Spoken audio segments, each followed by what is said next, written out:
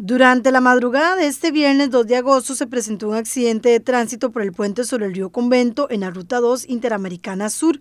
En el mismo estuvieron involucrados tres vehículos. Al parecer, el conductor de una buseta fue el que colisionó contra una patrulla de la fuerza pública y un vehículo pesado.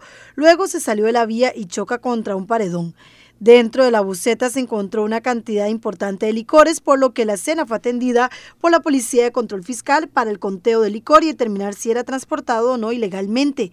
Tanto el Cuerpo de Bomberos como la Cruz Roja se hicieron presente en el lugar. La meremérita institución valoró al conductor de la buceta, quien fue trasladado con una condición amarilla al hospital. En el caso de los efectivos que se encontraban en la patrulla y también el del vehículo pesado, se encuentran estables.